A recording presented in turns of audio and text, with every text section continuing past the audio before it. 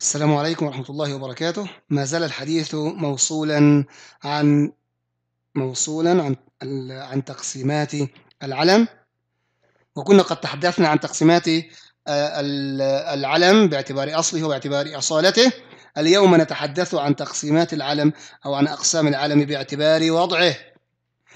وباعتبار وضعه ينقسم إلى اسم وكنية ولقب. اسم وكنية ولقب. له ثلاثة أقسام. اسم وكنية ولقب باعتبار الوضع. اللقب هو ما ما أطلق على الذات أي ذات المسمى بعد التسمية. هو اسمه محمد خالد. ثم نطلق عليه لقبا. اس لقب هو ما أطلق على. على على الذات بعد التسمية وأشعر بمدح أو ذم. كالمسيح. من هو المسيح؟ عيسى بن مريم. اسمه عيسى ولقبه المسيح. الرشيد. من هو الرشيد؟ هو هارون. ولقبه الرشيد. وكذلك الجاحظ أبو عمرو وكذلك أبو عبد الله السفاح. فهذه ألقاب دلت إما على مدح وإما على ذم. إما على مدح وإما على ذم. أطلقت على المسمى بعد تسميته. أضيف له هذا اللقب. فالمسيح كان اسمه عيسى بن مريم هذا من باب التكريم وكذلك الرشيد. والجاحظ أي لجحوظ إيه؟ لجحوظ عينيه. فهذا أو أنف الناقة. كذلك كانت تدل على ذم. النوع الثاني أو التقسيم الثاني من أعلام من أقسام العلم على حسب وضعه باعتبار وضعه الكنية. والكنية هو ما أطلق على الذات بعد التسمية. ولكن صدر بلفظ أب أو أم أي أي مركب إضافي جزءه الأول أب أو أم فهو من الكنية. مثل أبو حفص من هو؟ أبو حفص عمر رضي الله عن عمر. أم المؤمنين.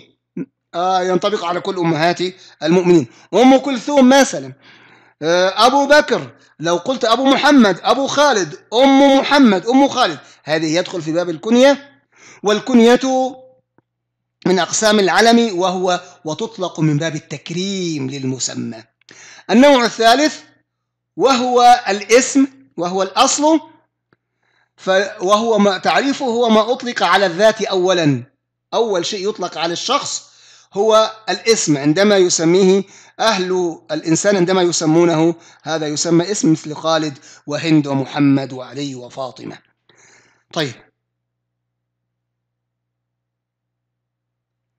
لو اجتمع الاسم مع اللقب أو الكنية لو اجتمع الاسم قد يجتمع الاسم مع اللقب أو الكنية. من الذي نذكره أولا؟ هل الاسم أم اللقب أم الكنية؟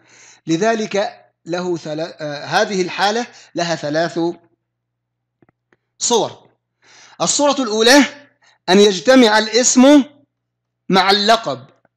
إذا اجتمع الاسم مع اللقب يؤخر اللقب عن الاسم.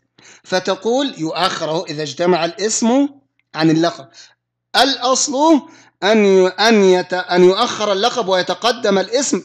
تقول زين زين العابدين. زيد معذرة. تقول زيد هذا هو الاسم. زين العابدين. لقبه أنه لقب لكثرة عبادته بزين العابدين. فيقدم الاسم يأتي أولا ثم يأتي بعد ذلك اللقب. لماذا؟ لأن اللقب بمنزلة الصفة والصفة تتأخر عن الموصوف. ده هذا هو الأصل. هذا هو الأصل. ولكن قد يحدث العكس وهو قليل ويجوز يجوز لغة. قد يتقدم اللقب قد يتقدم اللقب ويتأخر الاسم. كقول الشاعر أنا ابن مزيقي عمر وجدي أبوه منذر ماء السماء. أنا ابن مزيقي عمر وجدي أبوه منذر ماء السماء. مزيقي هذا كان كان مالكا من ملوك العرب في الجاهلية وكان من عادته إذا جلس مع ندمائه يمزق لهم أثوابا ويوزعها لهم هدايا. فخرج عليه أخرج أطلق عليه الناس أطلق عليه الناس لقب مزيقية وكان اسمه عمرو. فقدم الرجل هنا وهو يفتخر بأبيه فقدم اللقب مزيقية على على الاسم عمرو. فموضع الشاهد مزيقية عمرو آه، والقاعدة جواز تقديم ماذا؟ تقديم اللقب على الاسم وهو قليل. الصورة الثانية الصورة الثانية من صور آه، التقاء الاسم مع الكنية أو اللقب أن يلتقي الاسم والكنية ينتقي يلتقي أو يجتمع الاسم مع الكنية في الكلام. وفي هذه الحالة أنت بالخيار في تقديم أيهما. إذا شئت أن تقدم الاسم قدمه وإن شئت أن تقدم اللقب فقدمه. فتقول آه، آه، عمر أبو حفص ويجوز أن تقول أبو حفص عمر. يبقى إذا اجتمع الاسم والكنية أنت بالخيار بلا تفضيل. تقدم الاسم تقدم الكنية لا حرج في ذلك. ومن ذلك قول أحدهم عن عمر بن الخطاب رضي الله عنه قال هذا الرجل أقسم بالله أبو حفص عمر ما مسها من نصب ولا دبر. موضع الشاهد موضع الشاهد هنا أبو حفص عمر. والقاعدة قدم ماذا؟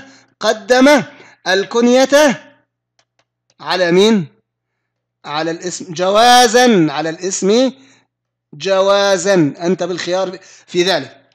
ومن تقديم آه، آه، اللقب ومن تقديم معذرة ومن تقديم الاسم على الكنية قول أحدهم وهو حسان بن ثابت يرثي سعد بن معاذ